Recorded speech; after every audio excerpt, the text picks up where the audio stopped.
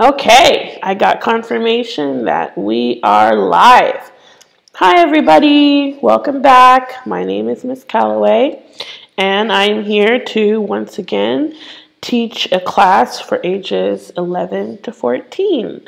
So, I am going to be focusing on some geography skills today and teaching you uh, some vocabulary that you can use when it comes to giving yourself directions because of course it's always important to be able to tell people where you are and to know where you are yourself.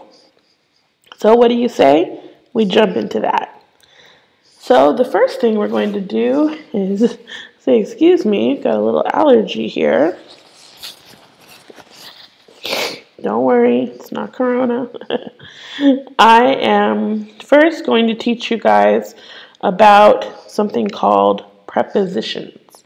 So, prepositions are words that allow you to specifically name a location in your sentence. For example, if I say, I am going to the store, well, which word in that sentence is a preposition? The word to. I am going to the store. So, we're going to look at some other prepositions and help you identify a bunch of new ones, hopefully, or review some that you already know. So, if you guys are ready, I'm going to go ahead and share my screen with you so you can see what I see. Okay, one moment here.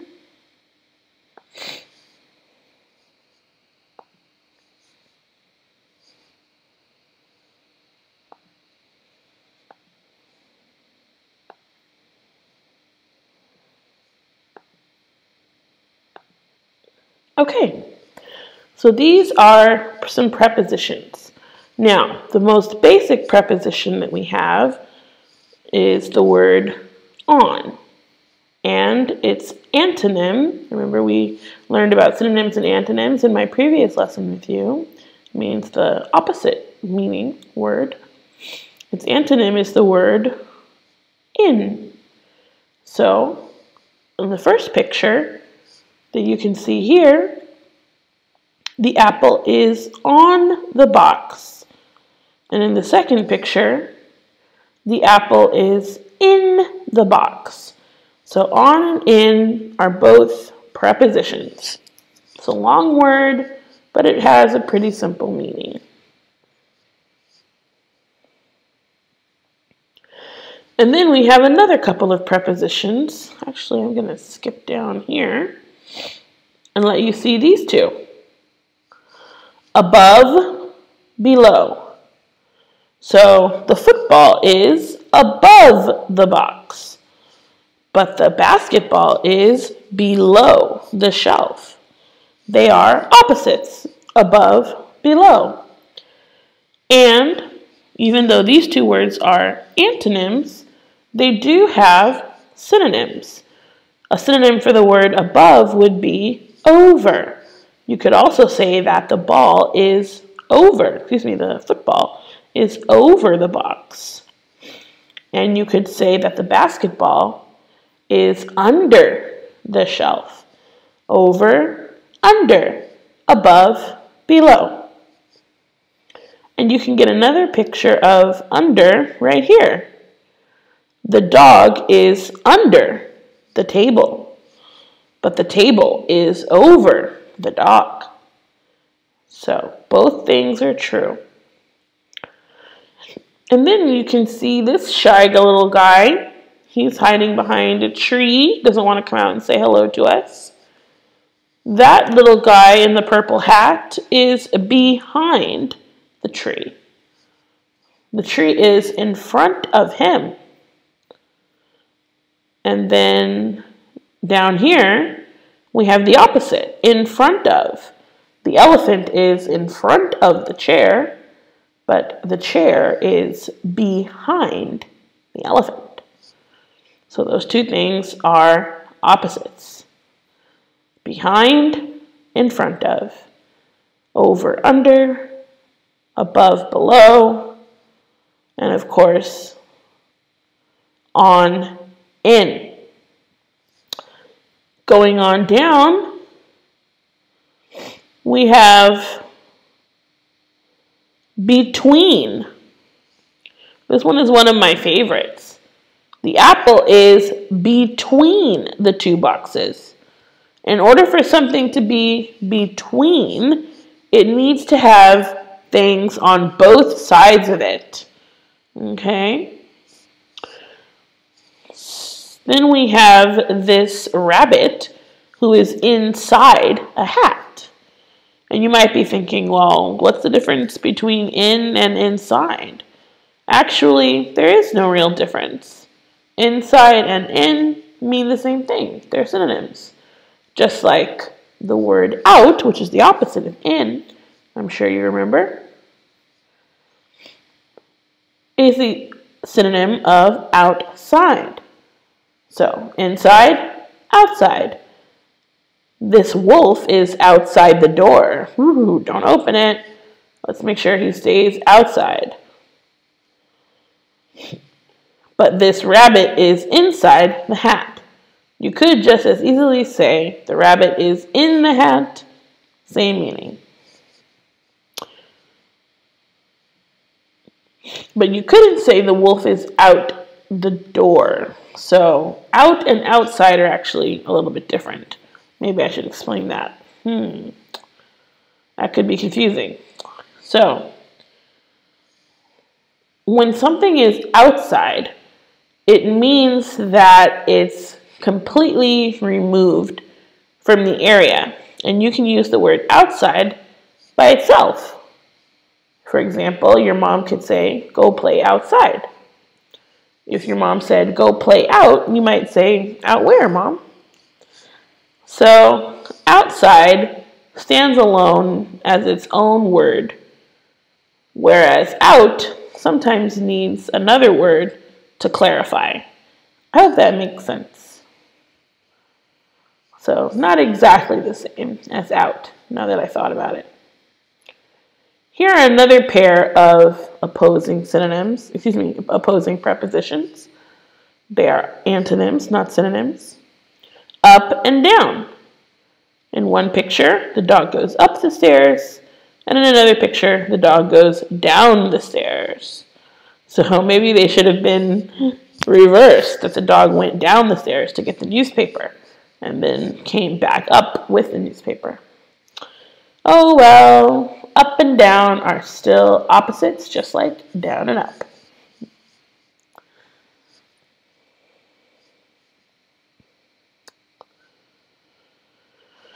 And then we have this one, into.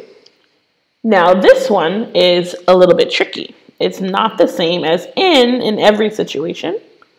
It could be in some situations. For example, in this picture, you see that there is milk in the glass. In. But we use the word into when we want to describe an action. So what we're looking at in this picture is somebody pouring the milk into the glass. It would be okay to say, pour the milk in the glass. But when we choose to use the word into, we are emphasizing the action. For example, when it's time for you to go to school on a normal day, not like today, maybe you go by car and your mom or dad could say, please get into the car. But if you're already in the car, sitting and waiting to go, then nobody will use the word into. We wouldn't say you are sitting into the car. We would just say in. You are sitting in the car. So, into always goes along with action. Get into your seat, your teacher at school might have said when you were going to school. Or get into the car, or at night, please get into your bed. And then you will be in your bed, and then you'll be ready to sleep. Let's take a look at the next one. Towards.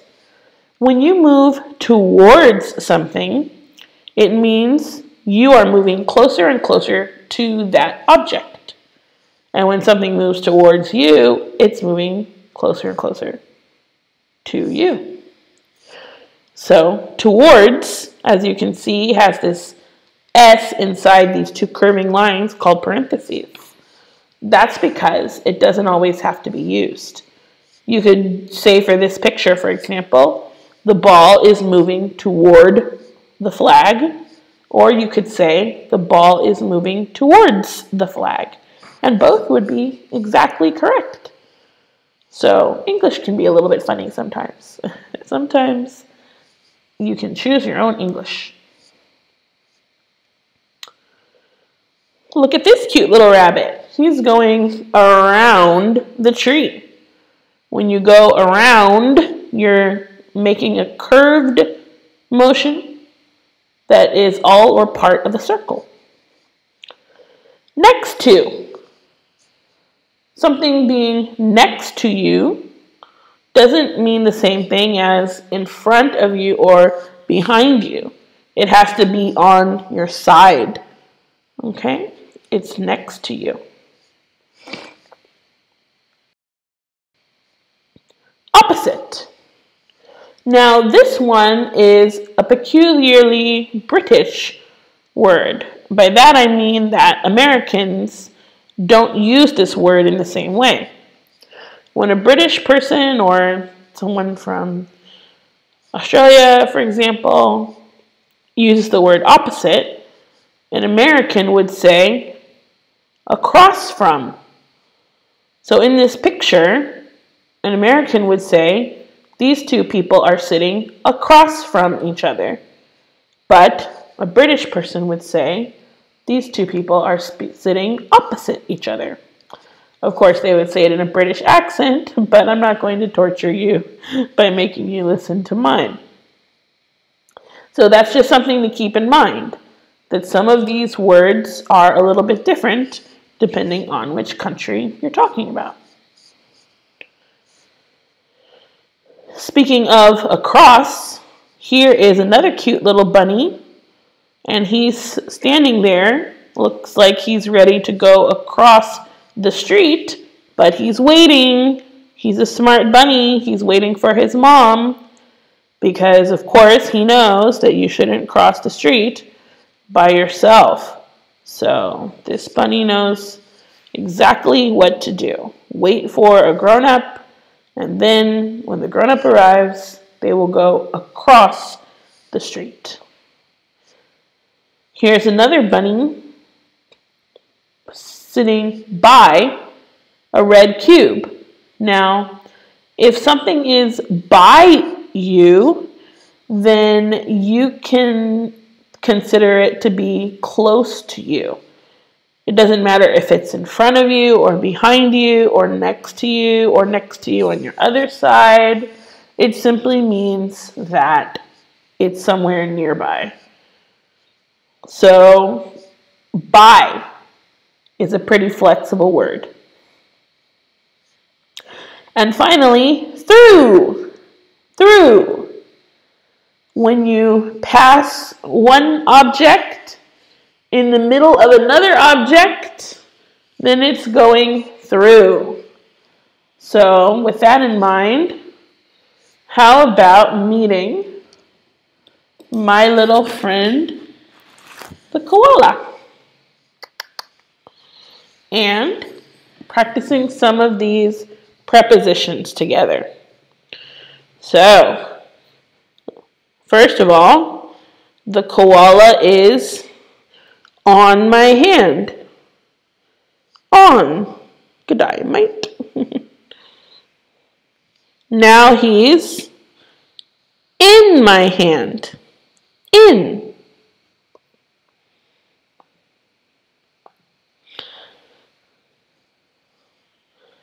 Now the koala is under this hand.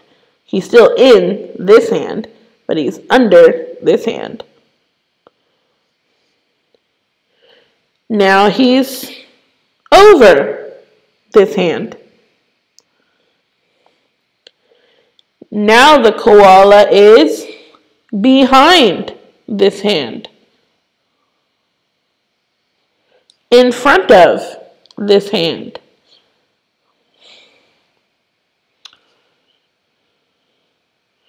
Now the koala is between my hands. Don't worry, I'm not hurting him. Could the koala go inside my hands? No, I don't think so. Koala goes up. Koala goes down. I should really come up with a name for this guy, huh? Koala is above my hand. Koala is below my hand.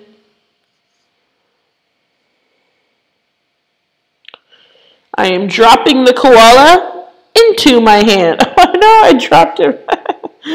One more time. Dropping him into my hand. You tricky little koala. Don't worry, he's fine. We won't do it again. The koala is moving towards me. Hello. Now the koala is moving around me. The koala is next to my head.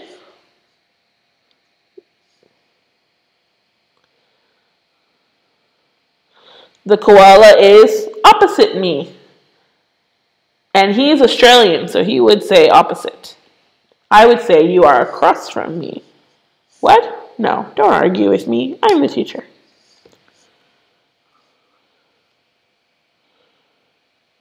The koala is by me, on my shoulder. And now the koala is through with this demonstration. That's actually a different meaning of the word through. My little joke. Okay, so now that you know some prepositions, we can go ahead and practice some other types of directional words. So I want to teach you guys some direction words that are connected to maps. Okay, so this is where the geography comes in. Anytime that you look at a map, you have to be able to tell where you are and where you are going. So we're going to learn some key words about directions.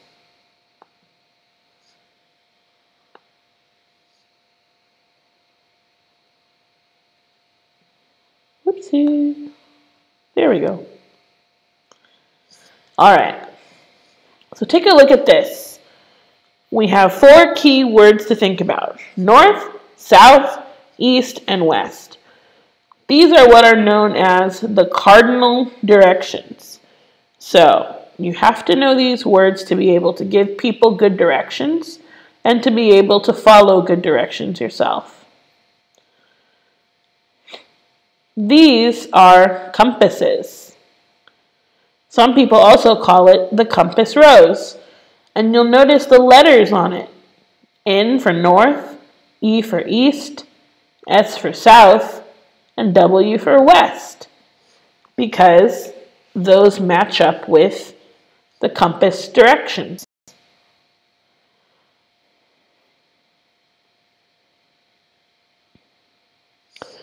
So let's take a look at this compass, which is a little bit more fun. Once again, we have N for north, E for east, S for south, and W for west. But what are these little letters in between?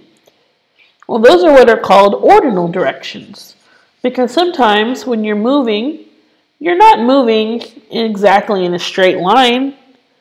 You have to move in different directions. So if you're moving slightly up but also slightly this way, then we call that northeast.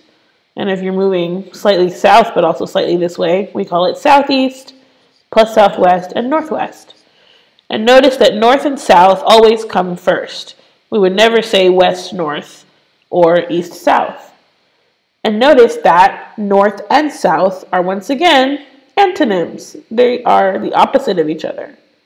So you cannot be going north-south or south-north because it's not possible for your body to go in two totally opposite directions at the same time.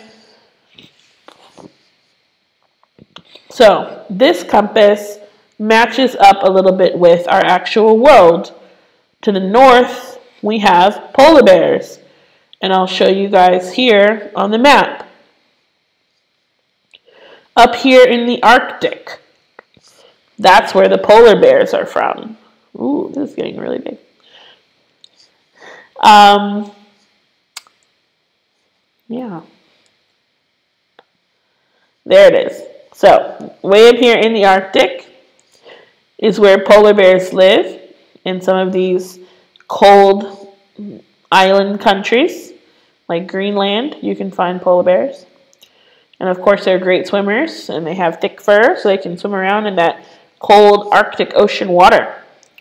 And then to the south on our globe, we have the continent Antarctica. You guys see that one down here? So down here on Antarctica is where the penguins are from. All different kinds of penguins. And to the east, on this half of the globe, we have Africa, Asia, two continents where elephants live. African elephants are the ones with the bigger ears. And then, of course, there are Asian elephants. And then to the west, well, there are lots of different animals over here, but I guess bunny rabbits are one of them. So you can sort of see how the animals match up with our world map. So let's take a look at this world map. How are you guys with your geography skills? Are you any good? Actually, before we do that, maybe we should review the continents and the oceans. What do you think? Now, there are many different ways to teach continents and oceans. And in some countries, they might do it a little bit differently than what I'm about to teach you. So always be sure to check with your own classroom teacher, okay? But in the meantime, you guys can learn that there are seven continents and five oceans. And again, there are a lot of different ways to divide those up. Some people say there are really only three continents. Well, it's up to your method. But I was taught seven, and 7 matches up with my flashcard. So we're going with 7 today. So first of all, the continent of Antarctica. That's the one all the way down south. And it's super cold.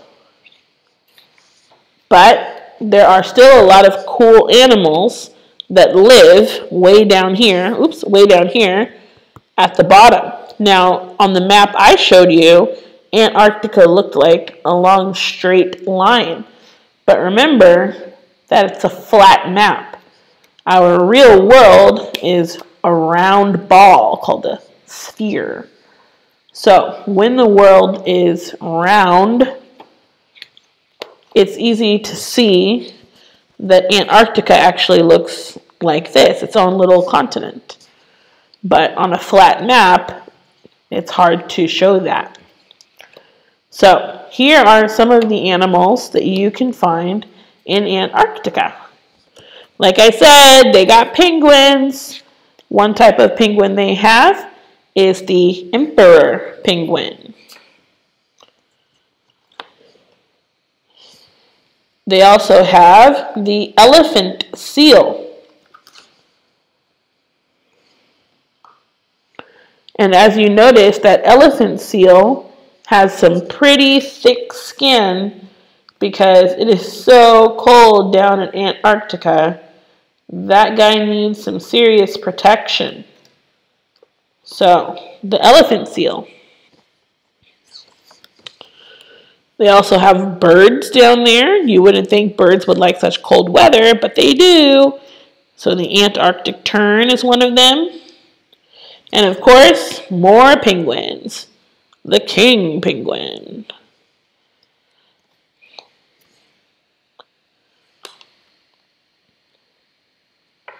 Another continent is Africa.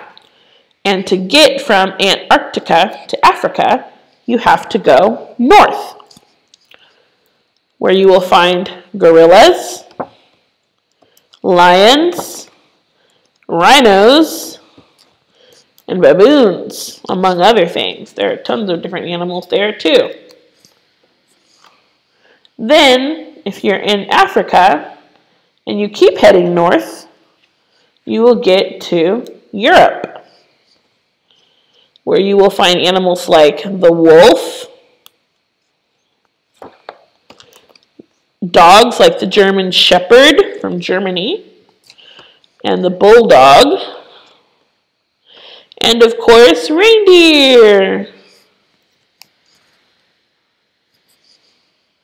Once you're in Europe, you could head east to Asia, which is where I am right now. In Asia, you have water buffalo. We have tons of these in Vietnam, the country that I'm currently living in.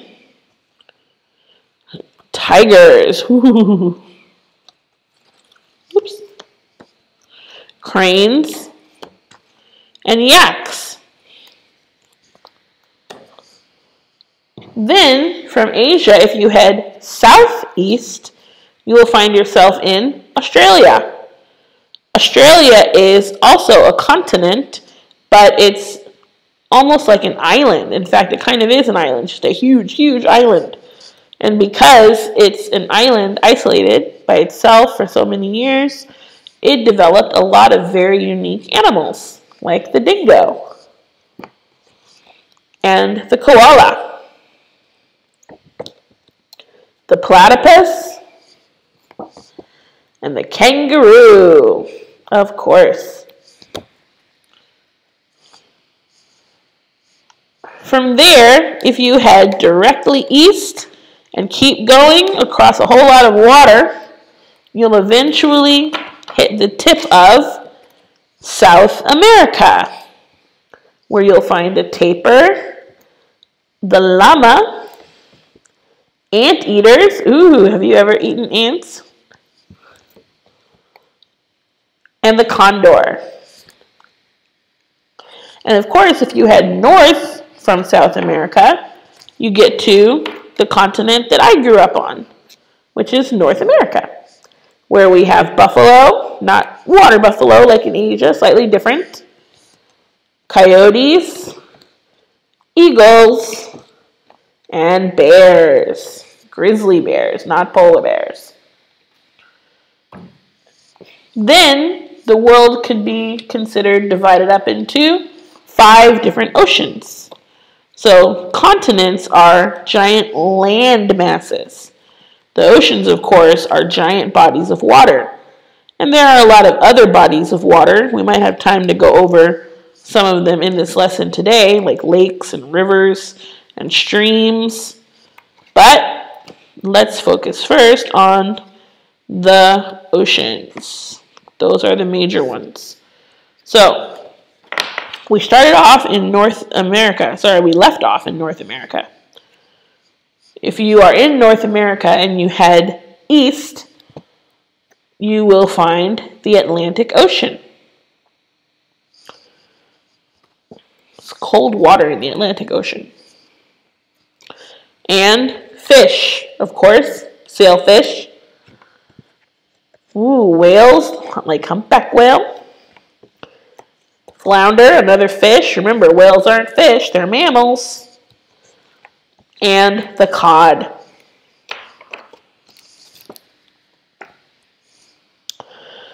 From there, if you continue to the north, and actually it's more like northeast, you'll get to a pretty cold ocean called the Arctic Ocean. That's where you find those walruses, plankton, narwhals, the unicorns of the sea, and beluga whales.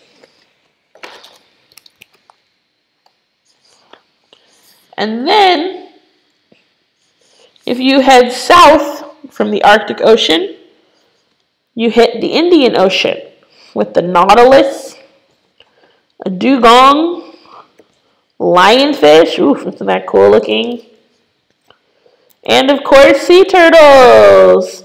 These are the ones that crawl up on the beach and lay their eggs in the sand. Cute. The Indian Ocean is really warm and tropical, especially compared to the next ocean heading south, the Southern Ocean, the Patagonian toothfish, cheese, krill, sperm whales, and giant squid, oh my, all call the Southern Ocean home. Finally, head north from the Southern Ocean to the biggest ocean on the planet, the mighty Pacific. This is the ocean I like best because I grew up close to this ocean. So at the Pacific, you can find a giant octopus. In the Pacific, I should say. Excuse me, wrong preposition. Tuna. You like tuna fish. Marlin. And the killer whale or orca. So, that's our little geography tour. Now let's see if you can remember those compass directions for a little quiz game. Share my screen again and let's try it.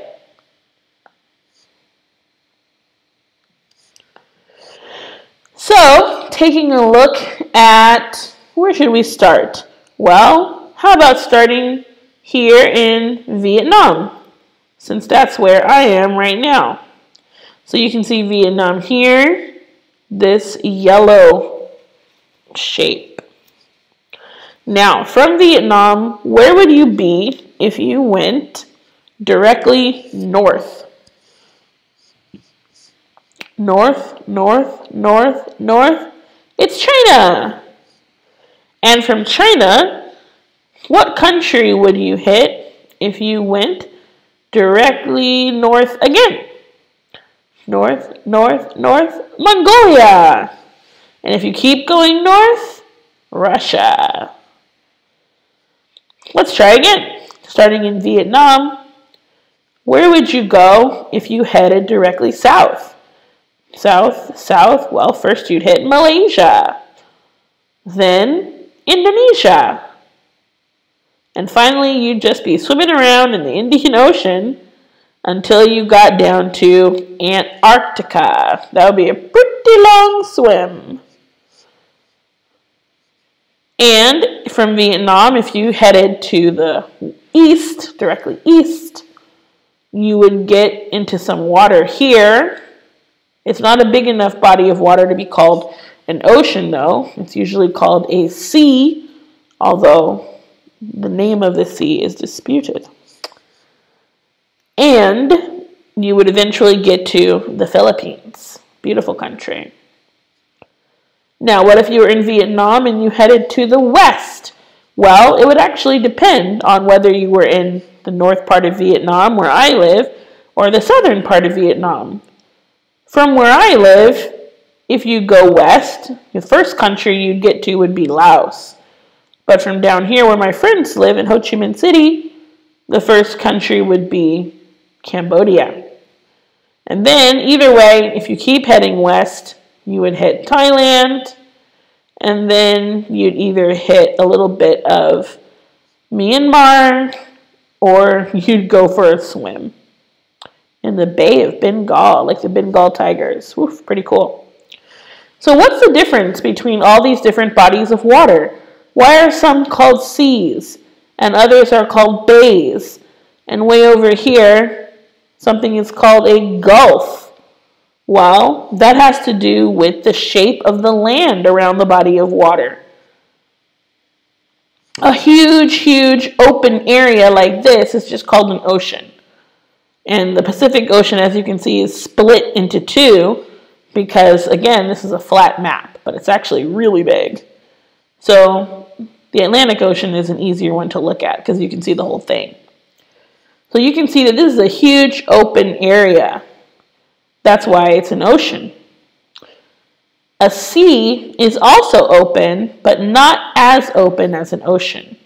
So a sea is basically like an ocean, but it's just smaller. And then you have a bay. A bay is more enclosed by land. So you can see here that the land is kind of circling all the way around this bay with just a little bit of an exit here and a few smaller exits here and here. So Hudson Bay is even more enclosed. It's a huge body of water, but look how much land is blocking it from being open like a sea. Like this sea is just open everywhere. Or this sea, pretty open. So if it's like a sea, but it's kind of closed off by land, then it's a bay. And if it's like a bay, but it's even smaller, then it's a gulf. So I hope that clears it up for you. But I'll tell you, there are no hard and fast rules. Some gulfs, like this one over here, the Gulf of Alaska, isn't really all that enclosed off. so you could say that a gulf is slightly more open than a bay sometimes, but honestly, sometimes these rules are just a little bit loosey-goosey. Like this one. This is called the Red Sea, but look, there's only a little tiny opening here. So why don't they call it a bay? I don't know. I don't make the rules. Oh, by the way, this is where I'm originally from, the United States. And it is between two oceans on its east-west, the Pacific on the west and the North Atlantic on the east. And it's between two countries on its north-south. Canada to the north, we call them our neighbors to the north. I don't even want to think about what they call us these days. And Mexico to the south. So we have a huge world with a whole lot of different things going on in different directions. And hopefully you've learned something about how those directions work and how to explain where you are to different people. Now, we do still have some time left, so I think we can go over a few more landforms and bodies of water. So bear with me, and I will pull that up for you guys and share my screen again. So remember, bodies of water can be different. They could be salt water, or fresh water, for example. And if it's salt water, that means you can't drink it.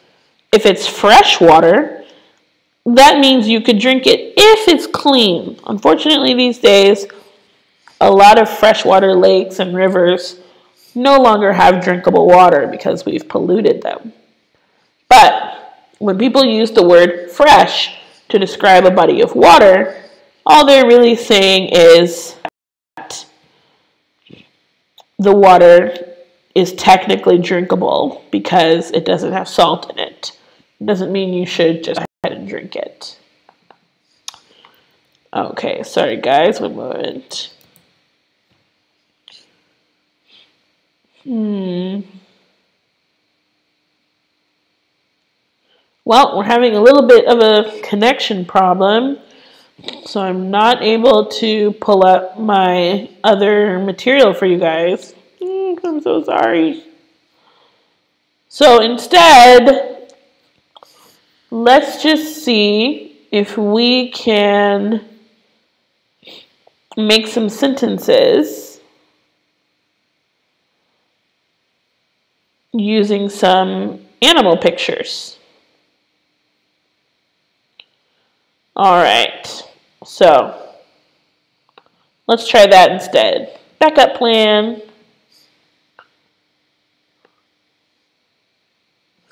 Okay, so these are already loaded, so you don't have to worry about the connection. So you can see two animals here. Let's do a little bit of a review game. Do you guys remember which continent I told you these animals come from? Who can remember the continent that the gorilla comes from. Okay, I'm going to give you some hints. It is south of Europe. Can you guys remember that map? Oh, maybe I can show you the map actually. It's still here. So, here's Europe. Which continent is south of Europe? Why? Africa, of course. So, the gorilla came from Africa. And then, looking at our next animal here, the grizzly bear. Do you guys remember which continent I told you the grizzly bear is from? I'll give you a hint. It was the one that is between two oceans on the east-west and between two continents on the north-south. Anybody remember the name of it? Here's another hint. It's where I'm from. Okay. Give up? Well, here it is. North America. The grizzly bear comes from North America. Let's take a look at some others. hmm. Do you remember from the compass where the rabbit comes from? It was generally in a west direction. Well, it was also North America. And how about this beaver? Well, they have beavers in a lot of places, as a matter of fact. They definitely have some in North America, but they also have beavers in Europe. How about this super tropical bird? A beautiful toucan. Well, toucans are from South America. And remember where I told you those dogs came from? Many species of dogs come from Europe. So, that's the end of our time today. I hope that you learned a lot. I hope you learned a lot about geography and prepositions and direction words. And maybe you even learned a few things about the map and about some countries that are on it. If you liked this lesson, my name is Miss Calloway, and you can find my profile on Verbling. I would be very happy to work with you and your child. I'm an international classroom teacher, and these are the types of lessons that I specialize in that are not just basic English skills, but a little something extra, more simulating an international classroom experience. I'd love to work with you guys, so feel free to check out my profile and sign up for some lessons. See you tomorrow.